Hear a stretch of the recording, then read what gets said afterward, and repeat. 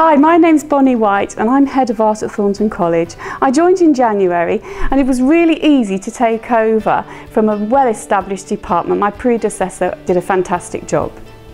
What inspires me about art is the way it touches all aspects of our lives.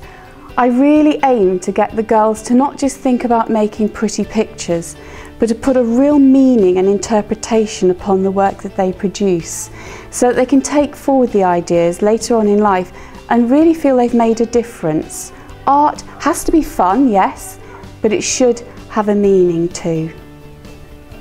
This is a very, very fresh piece done by Year 11 finished yesterday. It's the GCSE pieces that you can see here, ranging from the textile to the acrylic to Brusho inks and water.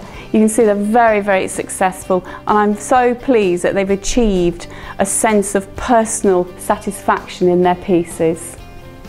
The department offers art and design right the way through from year 6 to year 11.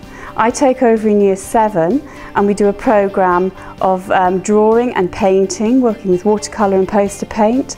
And then in year eight, we take the children further into sculpture and design, where they make clay fish or clay masks, etc. Here we have two fish that the Year 8 have made. They're at the greenware stage at the moment, um, which is the raw clay that's drying out, ready to be biscuit fired. This took the girls into the sense of three dimensions, which is obviously an element that I want to take on further on at GCSE. In year nine, it's much more experimental. What we want to do is to make the girls be aware of GCSE options.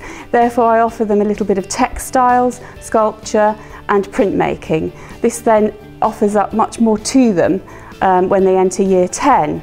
In year 10 we take them through the GCSE course uh, covering a whole range of disciplines from drawing, painting, sketching, um, printmaking, both collagraph, mono, uh, monoprints and also into screen printing and textile design. Then in year 11 they take up their own project in an individual way, which finishes their portfolio in preparation for the exam.